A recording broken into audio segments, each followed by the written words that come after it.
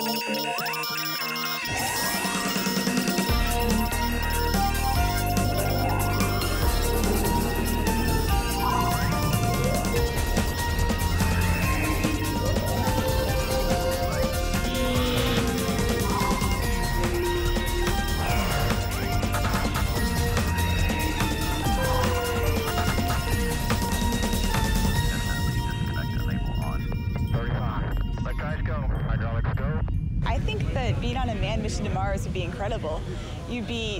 To set foot on an alien planet and where not many people have been before if you were second or third mission, and you could possibly be the first person if it were the first mission to Mars. Mars is an unknown place at the moment, and to actually explore it and learn about its past would be incredible. T minus 10, 9, 8, 7, 6, 5, 4, 3, 2, engine ignition, and liftoff of the Delta II rocket with the Mars Exploration Rover.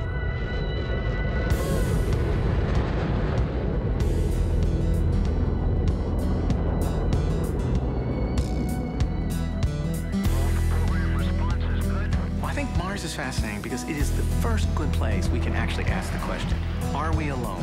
Where did life originate as we understand it? Because when Mars was born, a long time ago, like Earth, we think it had all the right ingredients, the magic ingredients to start the process of what we know as life. There's excitement in the air here at the Jet Propulsion Laboratory in California. A robot spaceship is about to land on Mars, and this is the place where they control it and where the pictures come in. Hi, I'm Bob McDonald, and we're here to catch the excitement of this landing and actually watch it happen. So keep your heads up, because we're going to Mars.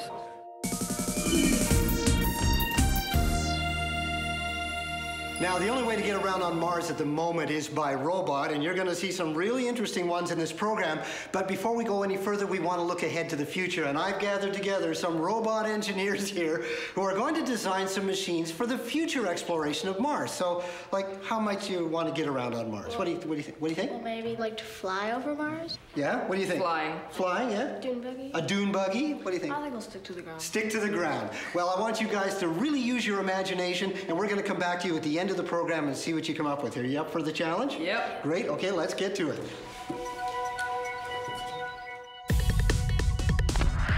When can you go to Mars? You can go there today. There are robots already there, and you can explore Mars through their eyes. Humans have been invading Mars for many years. Not with people yet, but with bug like machines that make the long journey through space to visit our planetary neighbor. And for the scientists who control the robots, it's a lot of fun.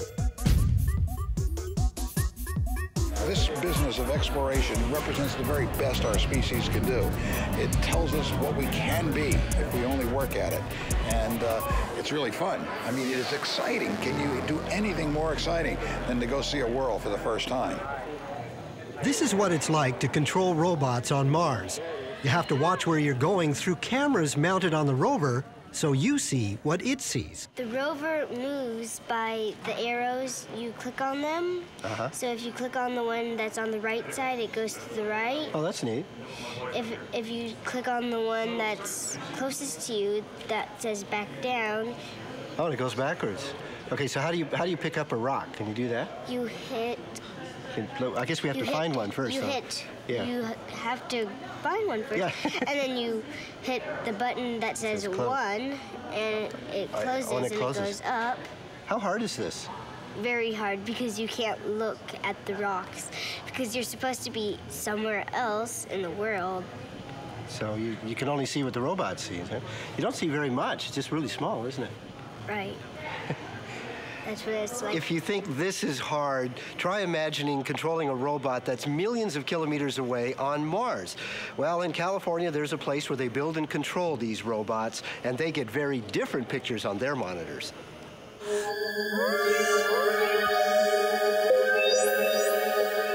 Current altitude should be approximately 25,000 feet. Velocity 446 miles per hour. At this time, we expect the vehicle has gone subsonic. The Jet Propulsion Laboratory in California is where most of the robots that are sent to other planets from planet Earth are controlled. Now, there's a lot of tension in the air tonight because a robot named Spirit is about to land on Mars.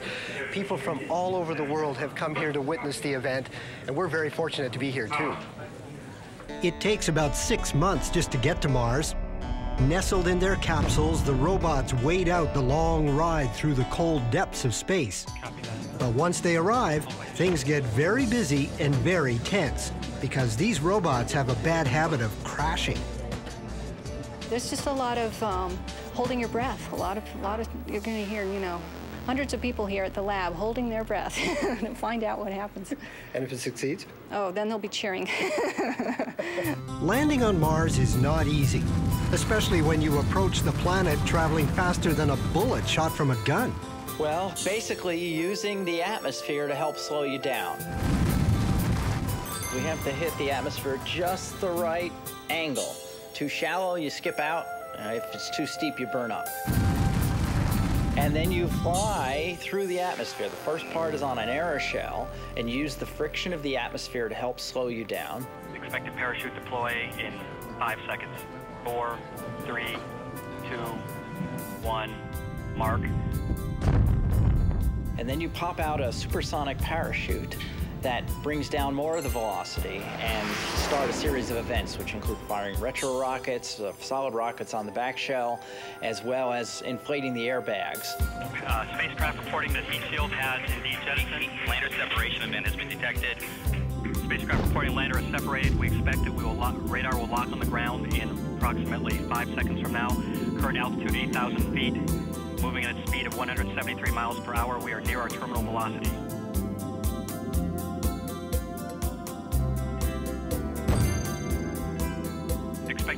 Rocket ignition on my mark. Mark. The whole stack comes to zero velocity vertical. You cut the bridle and it bounces. And it bounces, and it bounces, and it bounces. And we expect it'll bounce a couple of kilometers, one to two kilometers across the surface. Now 6 minutes 37 seconds from atmospheric entry. Still awaiting signal that we are on the ground.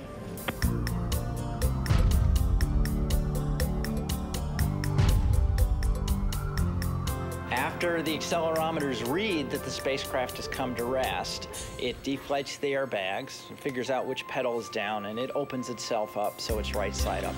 Retracts the airbags, and then you're sort of ready to go.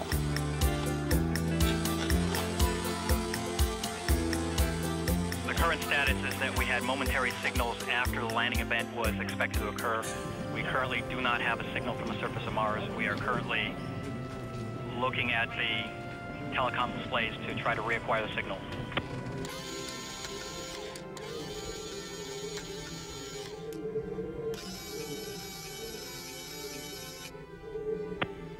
Deep Space Network tracking stations in Canberra and Goldstone are still searching for the primary signal.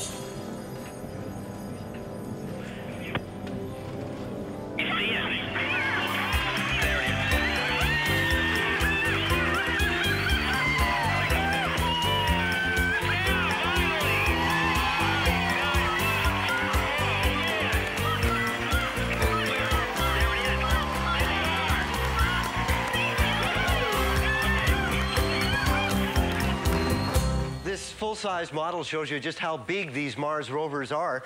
Uh, this is the camera head on Spirit, and you can see that it's almost my height, and that's intentional. These are the cameras up here, and they're the, about the same height as my eyes, so that the pictures we get from Mars will look the same as though you were standing there looking around.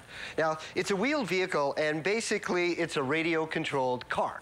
Uh, something like this. Now, I know it doesn't look the same, but the principle is the same. Uh, the car has an antenna. Spirit has several antennas to communicate with Earth, and there's a controller. Now, how do you control a radio controlled car? Well, you turn a joystick or a trigger, and it goes forward, backwards, forwards, backwards, turn, left, right. Whatever you do here, it hears over here. And it's all happening at the speed of light. Well, there's one big difference when you're talking about a Mars rover.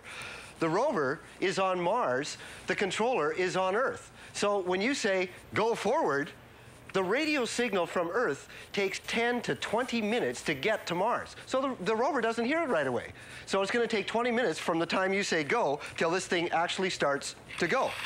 Then if it's heading along and it comes to a big cliff and you say, stop! It won't hear that for 20 minutes. So it means it'll go over the cliff. That means that these rovers have to be fairly smart. So they kind of treat them like dogs. So the rover looks around and the people on Earth say, hey, you see that rock over there? Why don't you go over and take a sniff? And the rover does that and tells us about it after it's done. They're fairly smart little beasts.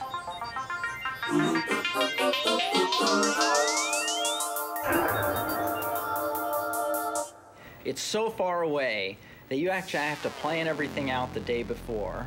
You have to carefully, you know, send those commands up, make sure they don't do anything bad to your spacecraft. And then you need to give your rover enough sense that it won't put itself in harm's way. So if it sees a rock that's too big to go over, it will actually stop and try to go around it. If it sees the edge of a precipice that it might fall off of, it will stop and wait and call home. Okay. Really? Yeah, yeah. It has to have enough sense, or else it would kill itself. I mean, it doesn't. You know, it's just a bunch of metal. You know, it doesn't know any better. Okay, so it's not entirely stupid then. It's not entirely stupid. It has a whole series of sort of insect-like commands. It says, if this, then this. If this, then this. And that tries to keep it safe. And you can actually set those parameters. So, so how much the wheel actually goes up and tilts, how much the bogey tilt, how much the whole spacecraft tilts. And that keeps it safe when you, but even so, you carefully determine a path. You give it X, Y's to go to and locations, and you tell it all the things to do with these instruments. Now, it's very difficult to do that because you're so far away. So basically, you're, you're stuck on Mars time. That's really the operational scenario. These things are solar powered, so they wake up in the morning and they go to sleep at night. So at the morning, we've got to be here. We're ready. In the morning, we send up the commands that we decided yesterday, and we told it what to do for the whole day. Basically, it does all of that. You can't watch it.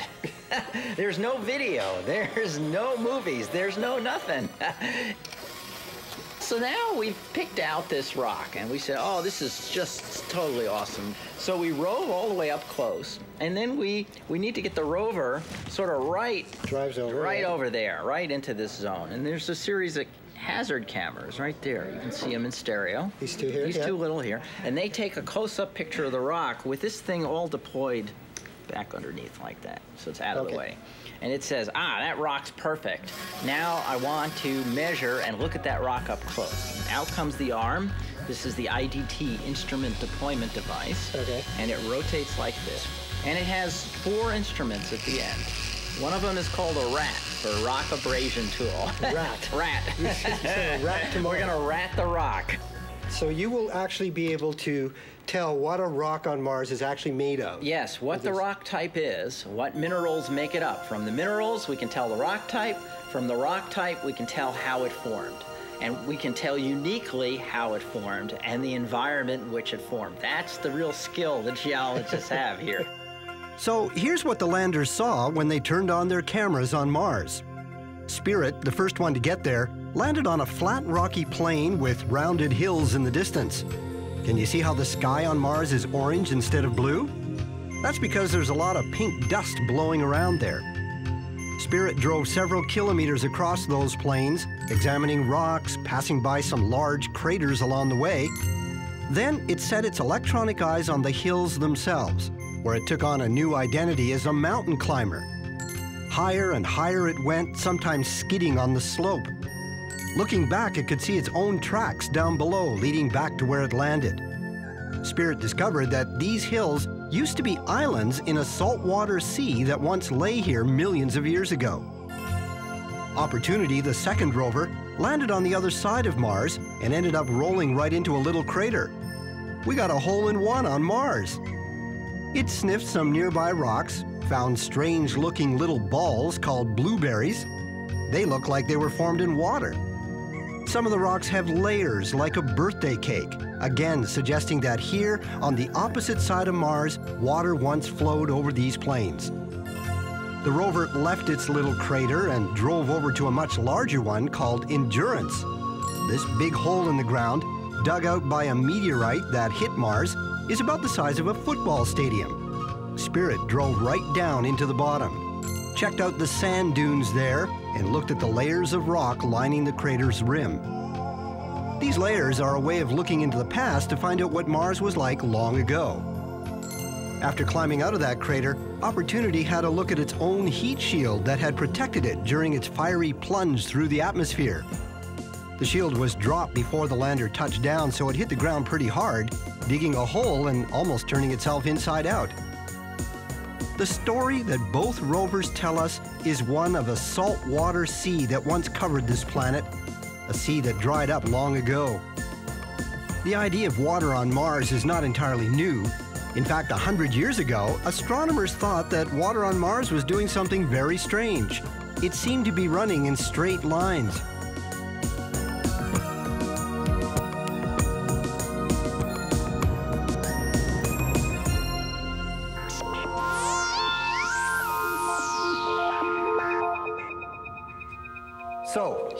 Are stuck on planet Earth. Unless one of you wants to invent a rocket that travels a lot faster, maybe something powered by warp drive, we're not going anywhere soon. However, we can look for alien life down here on Earth using telescopes.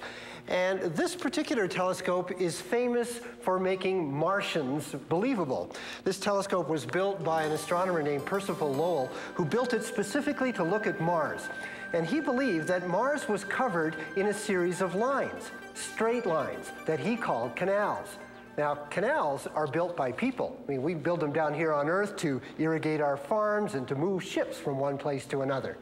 Well, if there are canals on Mars, there must be someone there building them. And if they can build canals, maybe they could build telescopes. Maybe they could look at our beautiful blue planet with all its water. Maybe they could build spaceships. Maybe they could come here and invade us and come and take our water. And that led to the whole idea of invasions from Mars. Invaders from Mars. He saw them land from outer space. He saw them capture innocent people only to destroy. Well, we've been to Mars with our robots, and we didn't see any canals, we didn't see any Martians, we didn't see any spaceships. Too bad, really. But what do you think would happen if we were to swing our telescope away from Mars and start to look at some other worlds? When we finally sent robots there, we didn't bump into any Martians, unfortunately, or see any canals. In fact, we didn't see any water at all. Percival Lowell was right. Mars is a dry desert. The whole planet is red because the rocks are rusty. Even the sky is kind of pink because of the red dust that's blown around on the winds.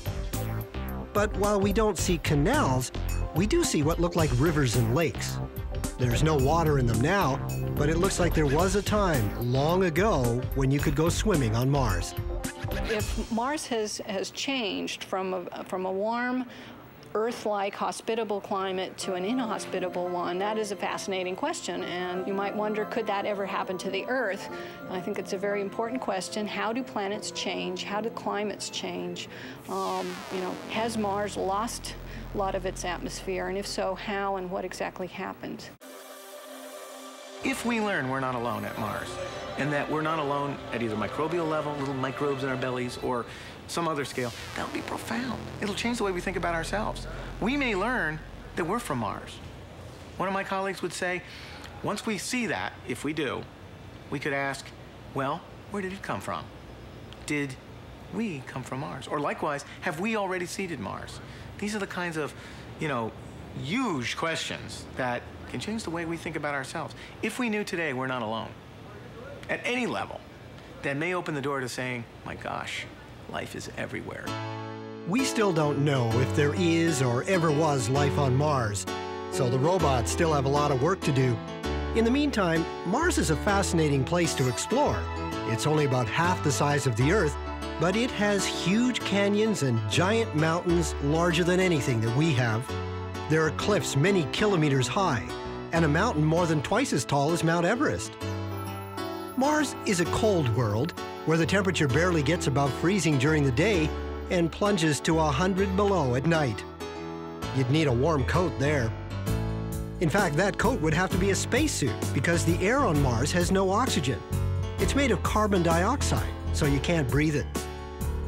But that carbon dioxide does come in handy at the North and South Poles.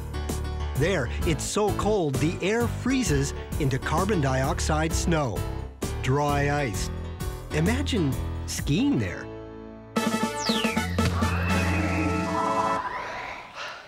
Skiing on Mars? you bet. You know, if you were to go to the South Pole or the North Pole of Mars, you would find an environment that looks a lot like this. Rocks, ice, and snow. And in fact, there are two different kinds of snow on Mars.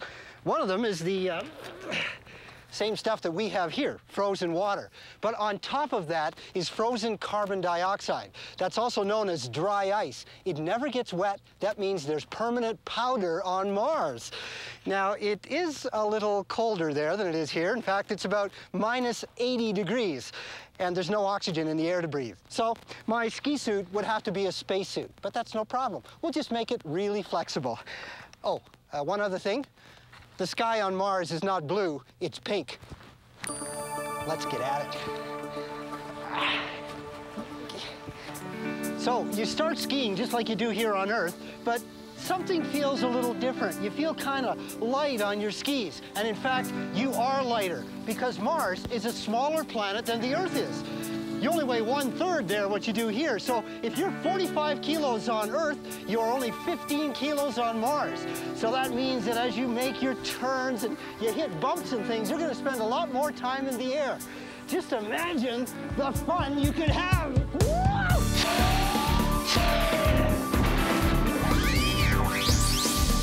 And if flying is your game, how about taking a flying leap off of one of those high cliffs under a hang glider? Now, the wings of your glider would have to be much larger, but remember, there isn't as much gravity on Mars, so you could easily handle a big rig. The sights you would see are incredible.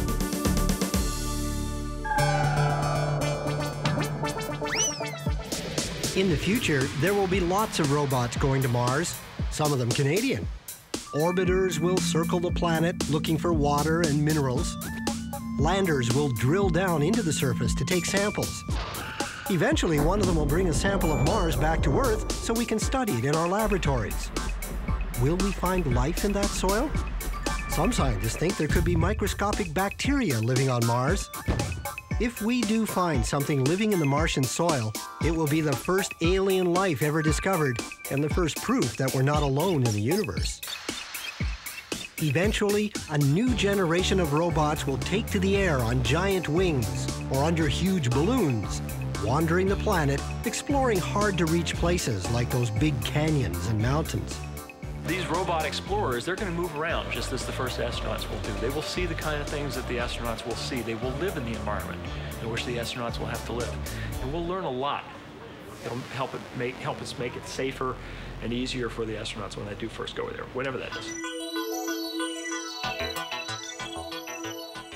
Every time there's a major mission to another planet, an organization called the Planetary Society holds this huge convention where hundreds of people show up to find out about, oh, the planet Mars and different ways of traveling in space, both now and in the future. Now, sending robots to another world is one thing, they can do a lot of stuff, but what about people? Well, some of the people at this conference think we'll have humans on Mars within the next 10 or 15 years. I firmly believe that we will send humans to Mars someday. I mean, there's nobody on this planet who is a bigger fan of sending robots to Mars than me. Okay, that's what I do. But even I believe that ultimately the best exploration, the best science is going to be done by humans. Mars is the place where we are going to determine whether humans can make it off of this planet. I mean, it's it's our whole destiny is really are we are we a single planet species or are we moving outward? I think a good reason they should go to Mars is to find out if there's more stuff like if they keep getting oxygen and take pieces like of if you samples of like inside craters. Yeah, that's good. Would you go? No. There are lots of plans to send humans to Mars and set up a colony there. But before that, there's one little problem that needs to be overcome getting there. Now, sending a spacecraft to Mars is not as easy as sending one to the moon. The moon's so close, it only takes a day and a half to get there. Not only is Mars farther away, but both it and the Earth are both moving around the sun. So Liam and I are going to do a little demonstration on a hockey rink here to show how you go from the Earth to Mars and back again. You are the sun. You're at center ice. Liam's going to be the Earth, and I'm going to be Mars. Now, the Earth is closer to the sun than Mars is, and the hockey puck is the spaceship. So let's start orbiting around the sun. Now, it takes longer for Mars to make it around the sun because it's on a bigger orbit. In fact, it takes twice as long as the Earth. So it's only when the Earth and Mars are on the same side of the sun that you can make your pass. That little pass, by the way, takes seven months. Then once you're on Mars, you have to wait for the Earth to come back. That's a year. Then when the Earth is on the same side again, you can pass back and you're home. So just going from the Earth to Mars and back again is a commitment that takes about two years. That's a big trip. Good pass.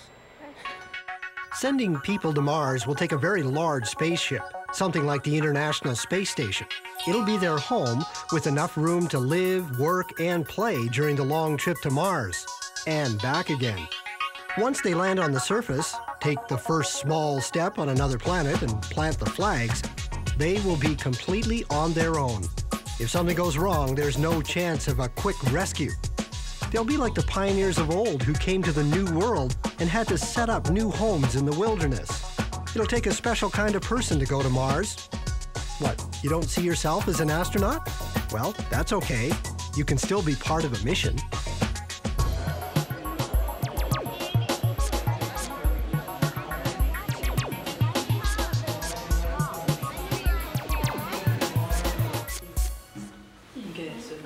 Okay, let's see what you guys have come up with here. We got some interesting designs. Let's start with this one. What is it? Um, it's kind of like a car. It can also fly, and it has satellite and cameras to see where it's going. Are these jets on the bottom here? Yes. So it's like a hovercraft. Okay, what about this one? This looks This is a dune buggy and it runs on solar power. Oh, the, what, these are the solar powers here on, the, on the outside? Because you can't run it at night though, right? okay, what do we got? Uh, what's this one? It's like a glider that runs on solar power, and I have a s- little satellite Uh-huh. on the bottom so it can go over steep terrain and big canyons that no um, land, Land will vehicle. Yeah, okay, so you can glide down the canyons on Mars. That's neat. And what about this one? That looks really odd. Well, this one's um, it's powered by the middle wheel, and it runs on solar power. It also has a satellite and um, a camera to see where it's going. Wow, lots of solar power, different ideas. You know, the important thing is that all of this technology is available today. And it won't be very long before we're building bigger vehicles that can carry people to Mars. Maybe you guys will be among the first missions to Mars. Maybe you will be the first Martian astronauts. Who knows what will happen? All we need to do is keep your heads up.